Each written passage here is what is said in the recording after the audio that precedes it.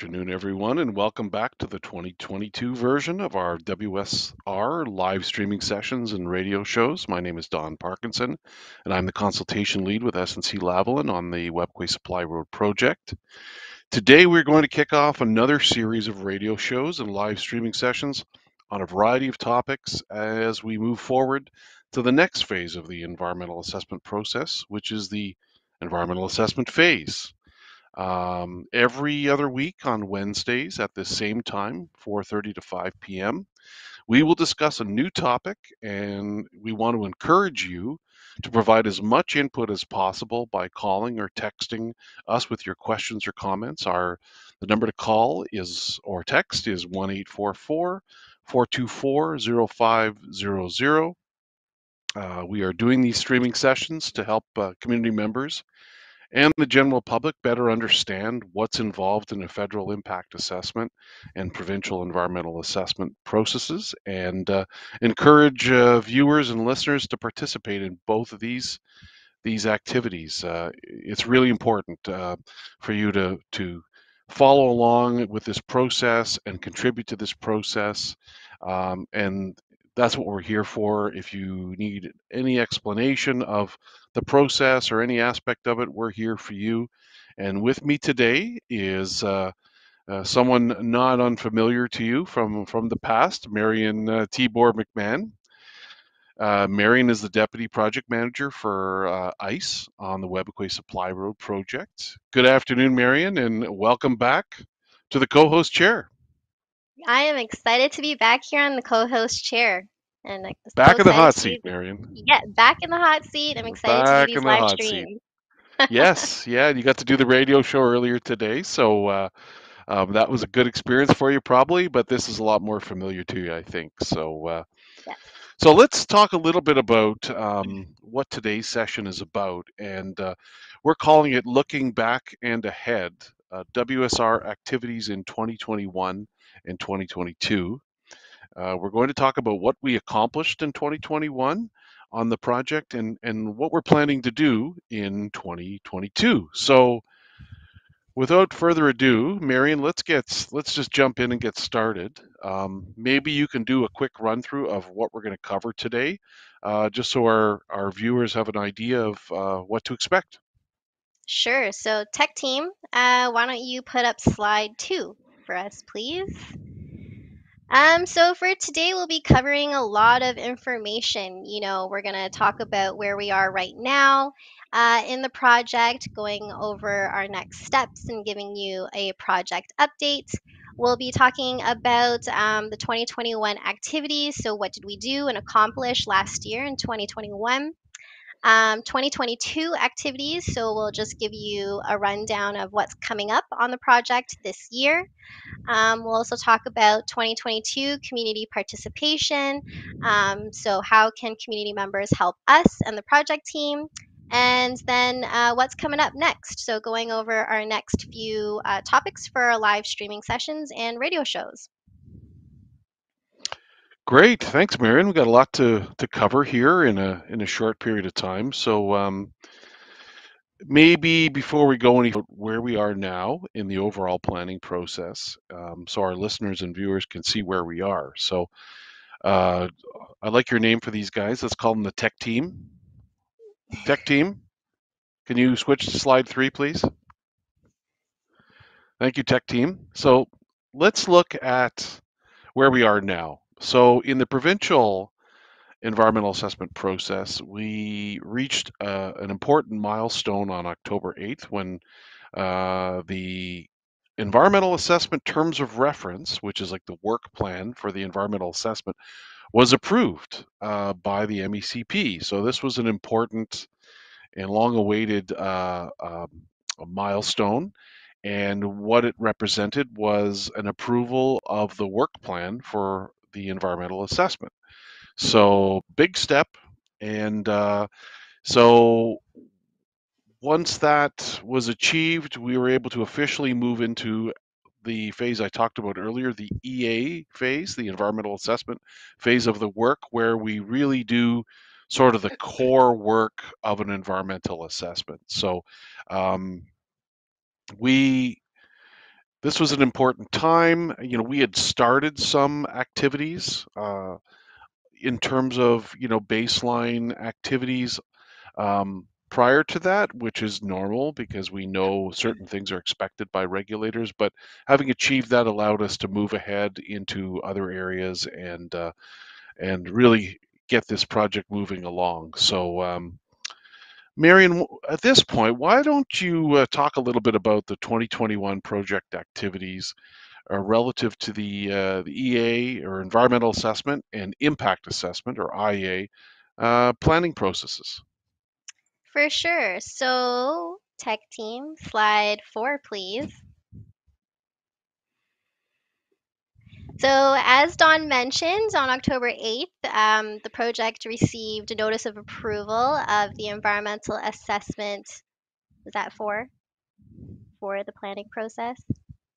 There we go. Thank you, tech team.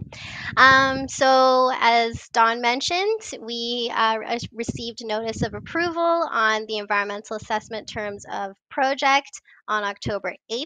And this notice of approval came with um, some amendments, um, including additional requirements for consultation with Indigenous communities regarding cumulative impacts, as well as additional requirements for consultation with Indigenous communities at key milestones during the environmental assessment development. So, just want to remind that you know Indigenous communities as well as the public, they, there's going to be a lot of opportunities there um, to engage with the project team throughout the project and to provide input and feedback uh, during the EA phase. Um, as well, um, 13 study plans were prepared to satisfy the federal impact assessment requirements um, that were laid out in the tailored impact statement guidelines, which is essentially the same as what the terms of reference is, which is the work plan for how we're going to assess potential effects and changes on the environment. And those 13 study plans, um, you know, there was a whole slew of, of study plans acoustics, socioeconomics, uh, wildlife climate change, air quality, cum- cumulative effects.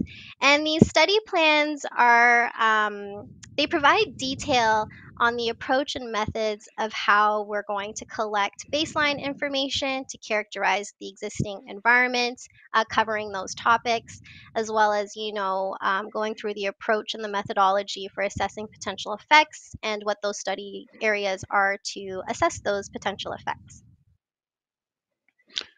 Thanks, Marian. Um, I should point out too that in the last quarter of last year, I think uh, starting in October, early October, through to early December, we did um, we did uh, radio shows and uh, streaming sessions on the study plan. So we went through all of these Mm-hmm. um, for our viewers, and I believe all of these are available on the website. We can check and make sure that they are um, but they're very helpful. I think they will they give uh, they give people a pretty good idea of the kind of work that was done, you know, or, or is being done at a technical level, and they're they're pretty understandable. And I think it's important that uh, that community members and the general public really get a good understanding of, of just how much is studied as part of an environmental assessment. And you know, I think the perception was at least not that long ago was that these studies were um, not really that comprehensive, but it's more the opposite. They're they're extremely comprehensive. They take years to complete.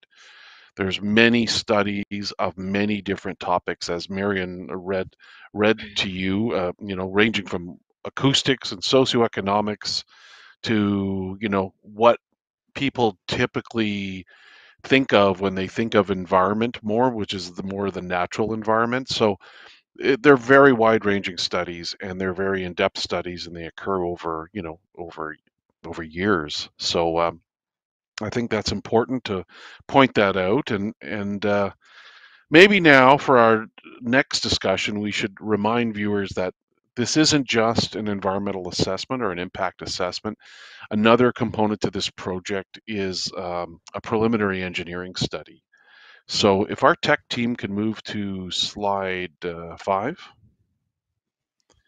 I'll talk a little bit about this. And um, so what has been done as part of this project, uh, sort of a different branch of this project, but still tied in with with um, with the environmental assessment work is is what you call a preliminary engineering study, and that that sort of allows our engineering team to do an early sort of dive into the engineering challenges on the project and and allows the the team to better define the project from from that perspective. So it it it helps you know the the engineering team understand what the landscape is like, what the elevation of the land is, where the water is, you know how long, you know what kind of crossings should go where, um, and then some of the field work um, that feeds into it. That's also part of the EA is related to you know perhaps you know uh, looking at soils, right? But in this case, they'd be looking at soils where the crossings uh, are. So there's you know there's a lot of there's a lot of different um, components that feed into the preliminary engineering study. Uh, so you know what I can tell you is that the the work is largely completed. Um, so some of the things that they did in doing that work was look at the geometry of the road. So when I when I talk about that, I talk about um, you know vertical and horizontal alignment. So horizontal alignment would be you know the curvature of the road, for example. Um, you know, so they have to watch you know how how tight corners are for safety purposes, and there are standards that need to be followed. And then the vertical alignment would relates more to the up and down, right? So the slopes, the up and up slopes and down slopes, and making sure those are safe and uh, allow a proper line of sight so that uh, you don't create uh, potential areas of where there might be a, a higher incidence of, of accidents. So, um, and then another big part of it is crossing structures. So, um, along the through the study area, there's 26 crossings, um, three large bridges, fairly large bridges that span, you know, quite a quite a distance you know, from 50 meters to 250 meters.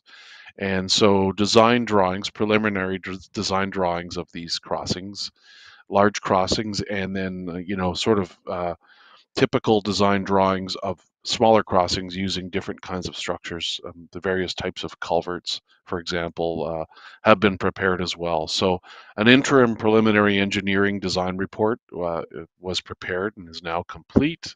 And it includes the design criteria and then includes geotechnical, so information on the soils, particularly in the areas where the crossings are, so they can uh, understand what's involved in the design of the supports for the bridges and and when culverts are in place other other things to keep in mind. So so that's sort of another side of this project and and that is that is now largely complete.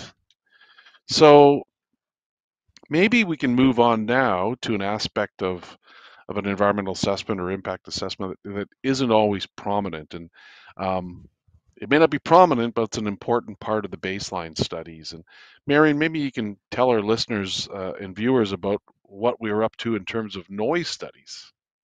Yeah, so noise um, studies were conducted uh, between October 24th and November 1st. And uh, my apologies. Tech team, can we have slide six, please? Thank you. Um, so these uh, field studies were um, conducted to understand the potential effects of the project on the current um, noise environment, um, including the uh, environment, you know, where traditional activities such as hunting, trapping, and fishing occur. Um, so the field crew they went out there to um, install acoustic recording equipment um, to determine what those existing conditions are uh, on noise levels in three different locations. One in um, the community itself of Webequie. Uh, another just outside of Webequie, and then a third one just further down the uh, proposed route there. Thank you, Marian. Uh, I wanted to remind our uh, listeners or viewers uh, that our phone number to contact us at is 1 424 0500. You can call or text us at that number with uh, any questions or comments, uh, any kind of input. And in fact, Marian, we have received a text with a question in it. I'm going to throw this one over to you. This is right up your alley here. It's it's how are you doing the socioeconomic study during COVID? Good question, and that is a question that we are receiving uh, lately. So, you know, typically we would be collecting socioeconomic information in person. Um, however, you know, our reality is is that everything is currently virtual because we want to keep ourselves safe and communities safe, and we want to do things, you know, in a way that communities are comfortable with. Um, so we have um, virtual options to collect information. So one being a online survey um, to do with community members where they can just go in online and answer our survey that way. We've also um, come up with uh, virtual focus groups um, to get more insights and feedback um, from various uh, population groups within the community, such as men, women, youth, um, elders, knowledge holders. And uh, we're also going to be doing virtual or telephone uh, key informant interviews with um, people uh, from the community, like community representatives or those that have special knowledge uh, to give us in depth information. So look out for that. Thanks, Marian. Uh, and tech team, if we can move to slide seven, geotechnical and hydrogeology field activities.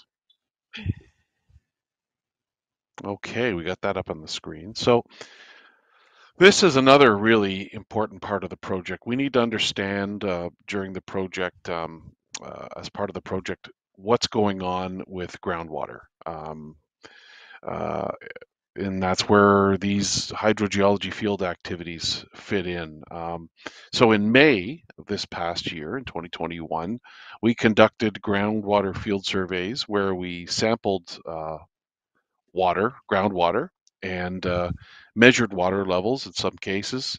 Um, so this is pretty intensive work. It's very time intensive. We installed wells at these locations so that we can we can sample the water and then check water levels at uh, various points in times to get an idea of seasonality. And um, so having installed these, we now are logging, uh, you know, some important data sets that help characterize the way things are now, the baseline conditions. And um, so we installed these wells. I believe there were at least 10 of them installed along the road corridor. And they were also installed within the uh, potential aggregate areas where we would uh, get material to build the road with, such as gravel and larger rock. Um, so you know, because that material was being mined from those areas, groundwater is obviously a consideration. So that's why we would, would drill wells in those areas. And um, so, as I mentioned, groundwater samples were collected and analyzed uh, chemically to understand what the chemical composition of the water is in the different areas.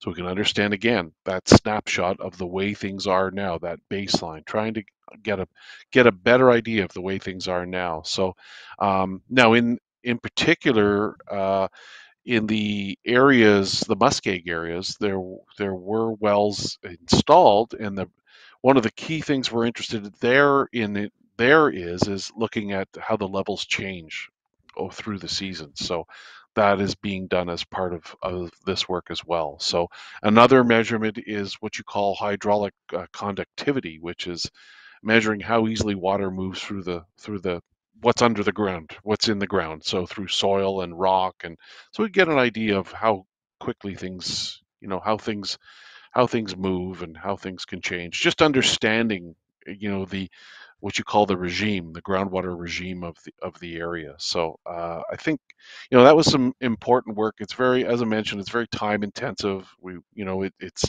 you, we need helicopters and heavy equipment, and and uh, it's, very tough to pull off, but we were able to get that done. So, um, okay, now next up is a review of uh, something Marian was just talking about in answering the text, and that is a review of the socioeconomic study activities. Maybe Marian, you can take us through that and recap uh, the many things we did in 2021 in that area. Sure. So in the summer, um, in July, Um, you know, there was training of six community members to administer the socioeconomic survey that I uh, mentioned just a few minutes ago in Webequie, and that was completed.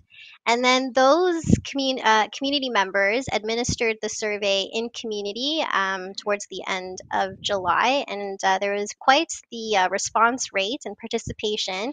We received 195 uh, surveys completed, so currently the, the team is looking at that information. Um, as well, uh, we conducted a key informant interview with Webequie's economic development officer at the end of September, just to gather information and data um, related to economic development and businesses in the community. Um, so we're going to continue conducting those interviews with uh, other community representatives and uh, special knowledge holders um, to collect information. Yeah, that that survey was a was a big success, wasn't it, Marian? That, that's a pretty good response rate, isn't it? 195. Yeah, very good. So we're excited to And look through that data. and we you know we should thank the community members that that helped us on that, and and uh, we're always looking for more to help us because we have a couple of other surveys coming up too, don't we, Marian? That's right. So uh, we'll get to that later, but we're uh, we're looking for volunteers for that as well. So uh, okay, tech team, if we can move on now to slide number nine. And number nine, slide nine, talks about the biological field activities, which was a busy area for us in 2021 and will continue to be pretty busy in 2022. And and uh, as you can imagine, you know the biology side is is it's it's a there's a lot of different studies involved in it.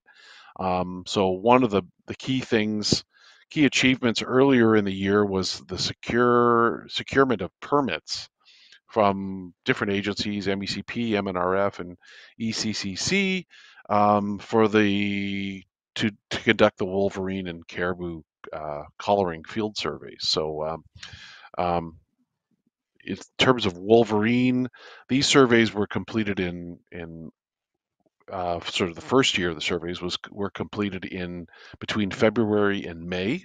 So in February, um, they installed these things that are called run pole uh, sampling stations, which are like it's a wooden apparatus that is attached to a to a tree, and the idea is to get the wolverine to climb it and reach for the bait, and then have its uh, uh, picture taken, and then at the same time, hopefully, we can collect uh, hair samples, which can, we can send out for genetic analysis, and and uh, having the the motion sensor, the wildlife cameras there has allowed us to get a real understanding. Uh, lots of great pictures of these wolverines and identify, um, you know, to date how many uh, how many in, individual wolverines are, are occupying the, the study area. So uh, it's worked out really, really well. We're getting a lot of activity at these stations.